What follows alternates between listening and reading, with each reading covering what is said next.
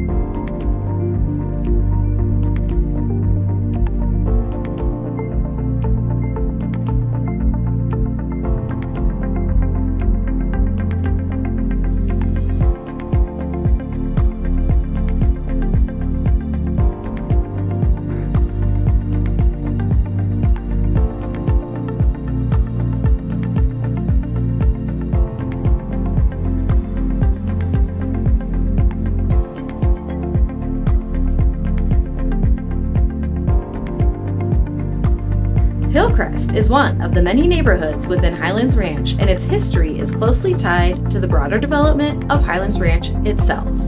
Highlands Ranch was originally established as a large scale master plan community in the early 1980s. The community was designed with a focus on providing a high quality suburban lifestyle in the Denver metropolitan area. As Highlands Ranch grew, it incorporated various neighborhoods, including Hillcrest each with its own unique character and amenities. Hillcrest, like other neighborhoods in Highlands Ranch, has evolved over the years and become a sought after neighborhood. It's known for its family friendly environment, access to parks and schools, and a strong sense of community. Constructed in the early 1990s, homes in Hillcrest are stately and spacious. Floor plans range from 3,600 to 6,000 square feet. Hillcrest homes are semi-custom with spacious lots. The home prices in this area start at the million dollar mark and go up from there. Now, let's just take a look at the neighborhood.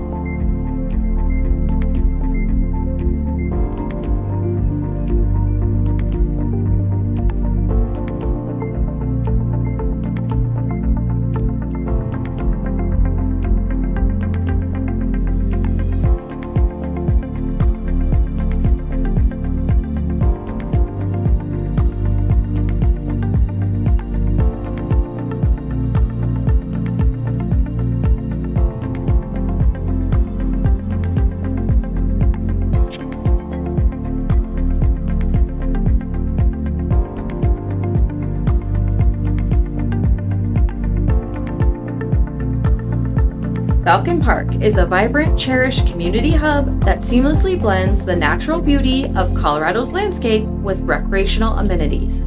This park offers a serene escape where families and individuals can unwind and engage in various outdoor activities. The park has ponds, lush greenery, and walking trails. Falcon Park features basketball courts, sports field, and a well designed playground, ensuring there's something for everyone. With its scenic vistas, friendly atmosphere, and year round community events, Falcon Park embodies the essence of Highlands Ranch living, making it a favorite destination for both residents and guests seeking leisure and connection with nature. The East, the East Ridge Rec Center is in the same parking lot. As part of the Highlands Ranch Community Association, homeowners at Hillcrest have access to a wealth of amenities. On site amenities include swimming pools with slides, walking trails, fitness center, and a clubhouse. Let's take a look at the footage.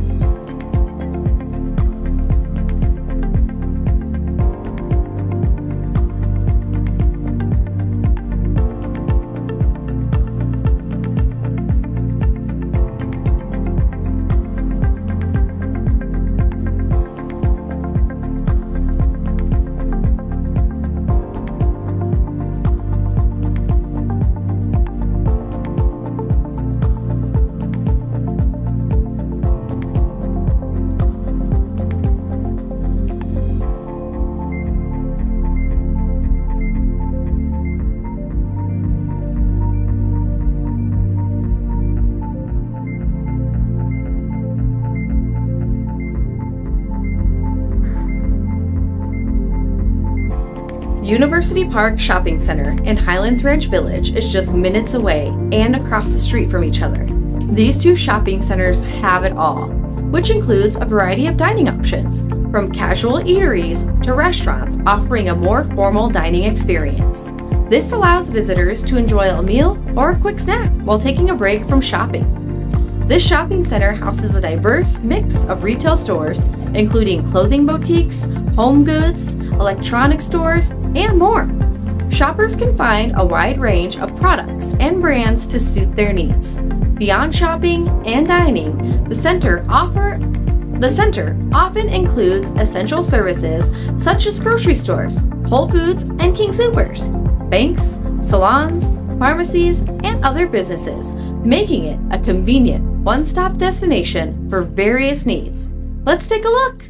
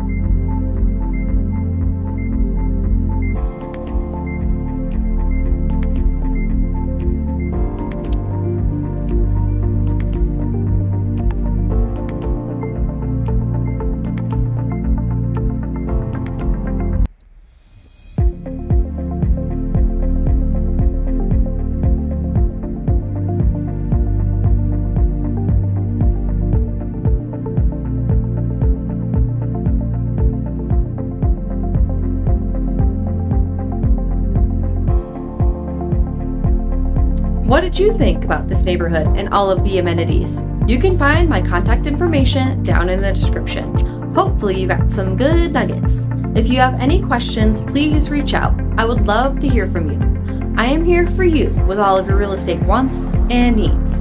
I'll be posting a new video on Friday, so stay tuned.